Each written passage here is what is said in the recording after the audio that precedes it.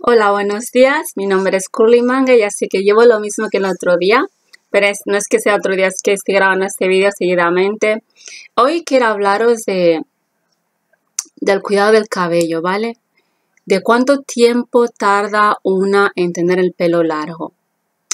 Mucha gente me pregunta qué es lo que yo hago o qué es lo que dejo de hacer. Al principio lo que yo hacía era probar todos los productos que aparecían en YouTube que la gente me recomendaba, las revistas, en el supermercado. La verdad es que en mi pelo yo probé absolutamente de todo.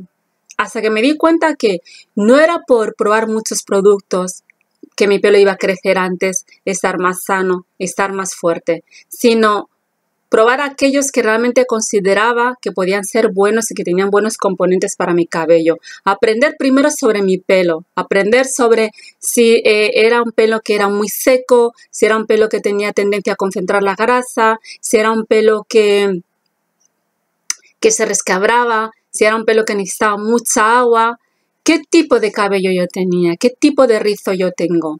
Esas fueron las premisas para empezar a cuidar bien mi cabello. A partir de allí es cuando ya empecé a elegir productos eh, que, conlleva, que llevaron esos, esos componentes que a lo mejor eh, me aportaban hidratación porque mi pelo es un pelo muy seco, que me aportaban elasticidad porque mi pelo es un pelo que se parte con facilidad y sobre todo que me aportaban brillo porque mi pelo es un pelo que es muy apagado. Si no le doy un poco de vitaminas o le doy una, una grasita, eh, mi pelo es un pelo muy apagado. Después de eso, claro, con la edad te van saliendo pelos blancos, canas, aunque no muchos, claro, pero si tienes el pelo todo blanco, no pasa absolutamente nada porque ese es mi sueño. Cuando yo tenga todo el pelo blanco me lo voy a dejar así porque me encanta. Yo quiero ser como Rosa, Rosa Parks, ya sabéis que era Rosa Parks, una activista americana. ¿eh? Y ella tenía todo su pelo blanco y eso me encantaba. Entonces, como de momento no he llegado a ese estado, pensé, bueno, hay que teñirse el cabello porque tener cuatro pelos blancos y el resto negro, pues como que no queda muy allá. O sea, no quiero parecer la mujer de Frankenstein. Entonces tuve que empezar a pensar qué tipo de producto colorante o tinte podía favorecer mi cabello. Entonces, para eso eh, también me puse a investigar.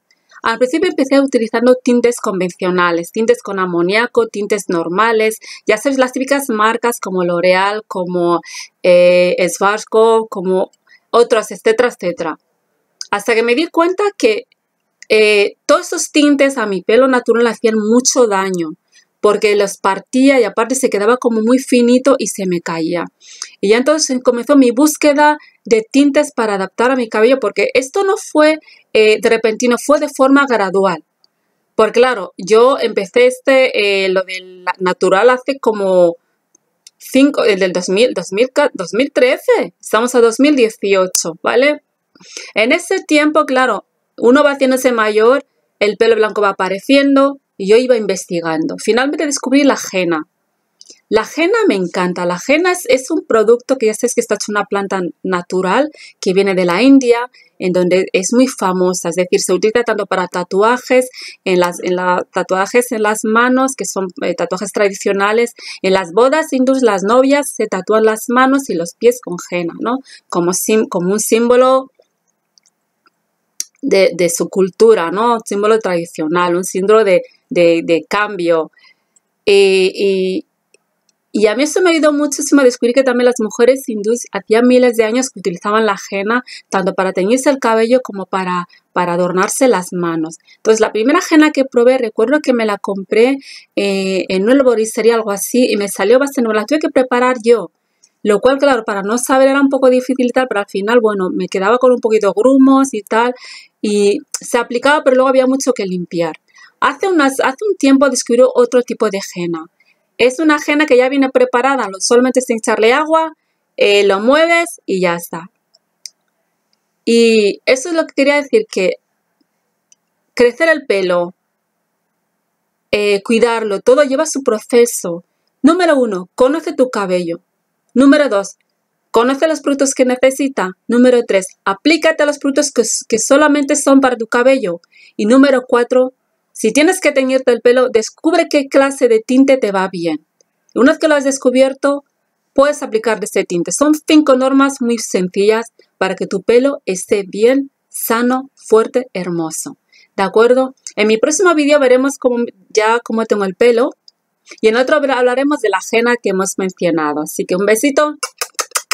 Os quiero. ¿Vale? Haremos un vídeo sobre los cinco puntos para tener el pelo, el pelo sano, bonito y hermoso. Bueno, es lo mismo, ¿no? Y ya está. Y brillante. Un besito. Os quiero y hasta luego.